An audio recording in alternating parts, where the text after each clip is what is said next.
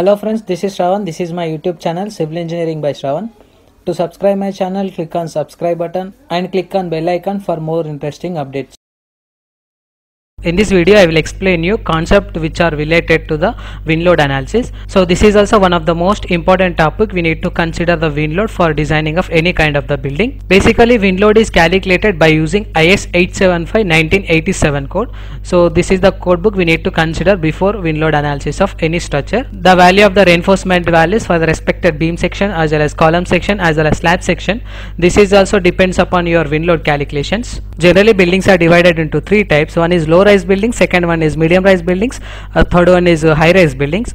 So if your stories are in between first story to sixth story we need to consider it as a low rise building. So if your stories are in between seventh story to 12th story just we need to consider it as a medium rise building. So if you are greater than your 12 stories nothing but 13th story or greater than 13th story it will be comes under your high rise buildings. The wind load will be higher in case of high rise buildings as compared to your medium rise buildings and low rise buildings the wind load is higher for the medium rise buildings as compared to low rise building. The value of wind pressure for low rise buildings will be less than medium rise buildings and it will be less than your high rise buildings. As per IS 875 code, we need to calculate the wind pressure initially. It will be in Newton per mm square. Just we need to consider the formula. I will show you this respected formula here. Please follow, the, follow that formula. So Pz equals to 0.6 times of Vz square where Pz is the wind pressure. Vz is the design wind speed we need to consider so Pz equals to 0.6 times of Vz square. So again we have one more formula which is useful for calculating the design wind speed Vz.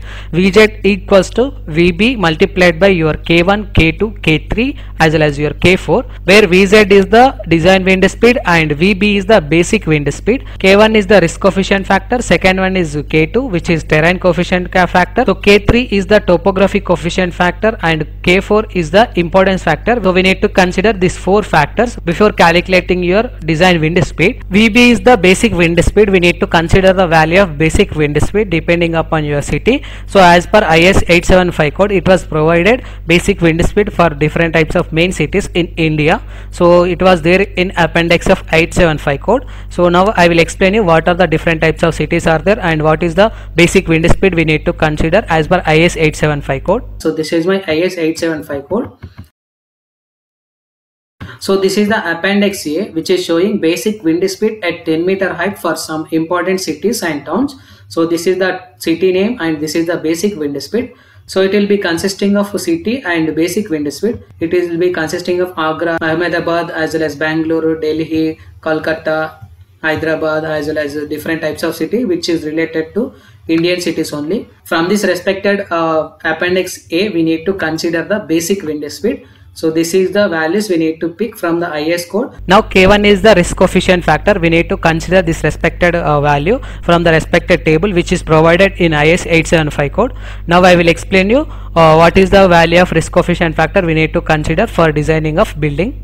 So go to this IS code. So this is the table one risk coefficient factor for different class of structures in different wind speed. So this is the table. So it will be consisting of class of structure, mean probable design life of the structure in years, K1 factor for basic wind speed in meter per second. The basic wind speed for the different types of cities were divided into these respected values which is of 33, 39, 44, 47, 50, 55. So all general building structures we need to consider it as 50 years for the respected life.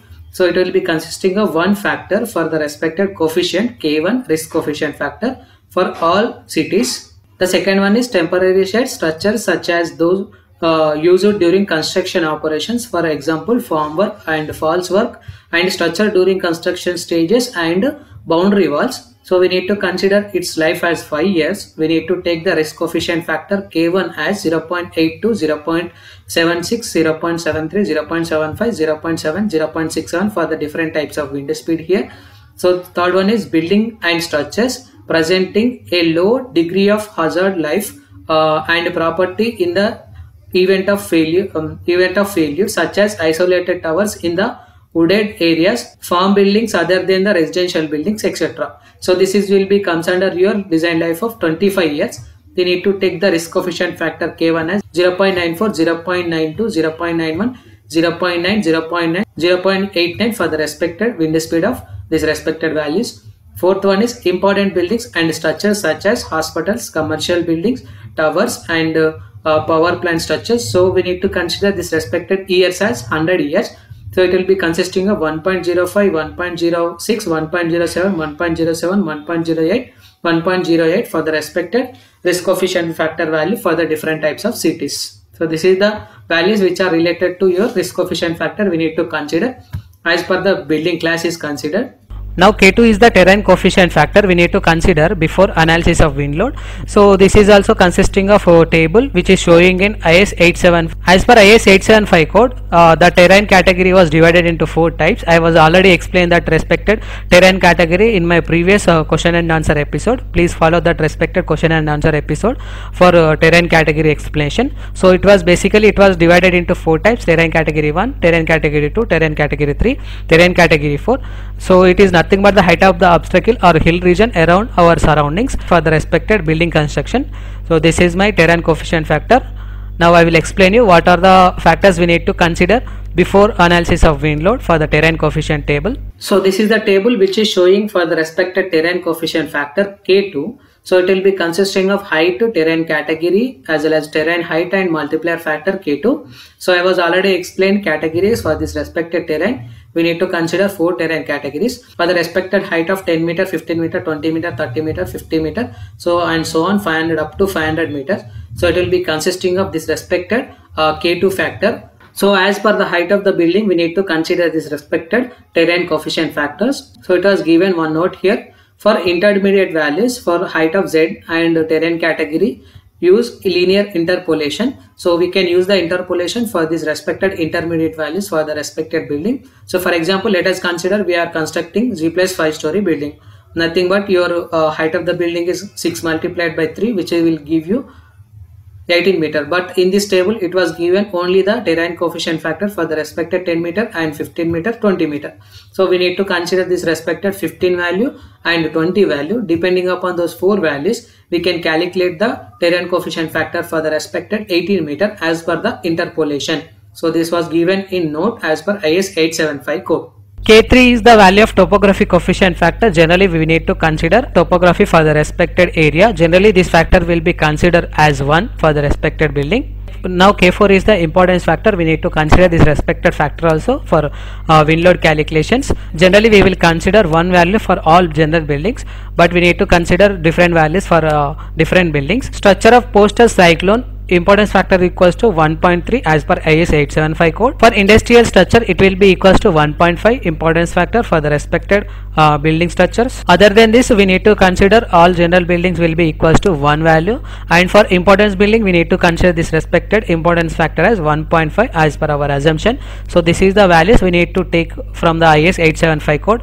We need to consider this respected values of K1, K2, K3, K4 values. So with the help of this respected K1, K2, K3, K4 values and basic wind speed, so we can calculate the design wind speed Vz which is equals to your Vb multiplied by K1, K2, K3, K4. So it will give the value of Vz nothing but your design wind speed. So with the help of this respected design wind speed value, we can easily calculate wind pressure which is equals to uh, 0.6 times of Vz square if possible I will explain you how to calculate this respected uh, wind intensity with the calculations in my upcoming video so this is my uh, wind load concept which is uh, related to IS 875 1897 code. Thank you